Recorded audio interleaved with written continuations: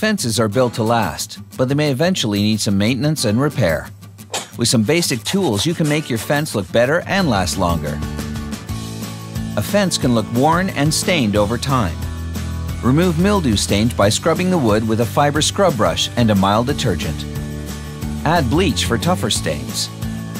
In this example, we're repairing a fence with damage to the posts, rails, and lattice. We'll start by fixing the leaning fence post. High winds and adverse weather can crack or break your fence posts. If yours are just leaning, you're in luck. You won't have to replace the entire fence. Dig around the post until you reach the concrete base. Pile the soil in a wheelbarrow or plastic tarp so you can easily refill the hole later. With the concrete base exposed, straighten the post. For more tips on setting fence posts, check out the How to Set a Fence Post video on this site.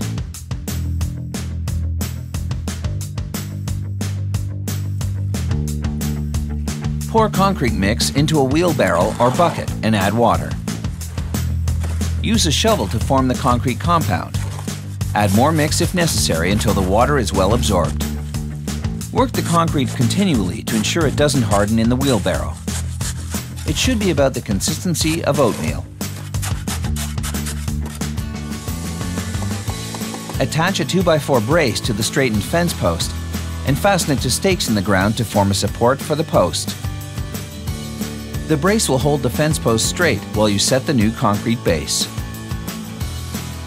The additional concrete will provide more support to the straightened fence post. Make sure there are no air pockets in the concrete. It should be about an inch below ground level. Check again that the fence post is straight before the concrete dries. Once the concrete has hardened, backfill the rest of the hole with soil and add grass seed if necessary. Lattice is thin and can easily be damaged. To replace it, start by removing the top rail supporting the lattice. The damaged lattice should easily lift away from the fence. Slot the new lattice into the grooved 2x4. Nail pieces of wood on both sides of the lattice for extra support between the fence posts.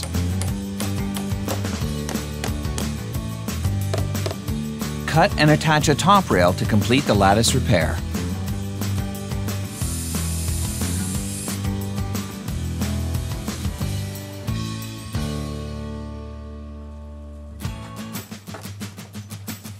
To replace your rails, remove all of the fence boards to expose the damage.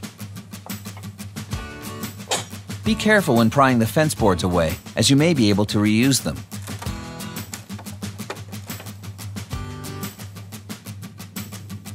Remove the broken rails and cut the new 2x4s spanning the distance between the fence posts.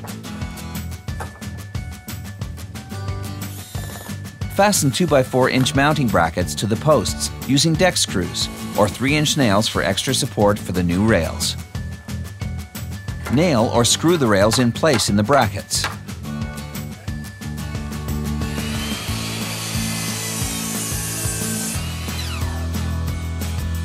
Place a grooved 2x4 on top of the upper rail for the lattice base.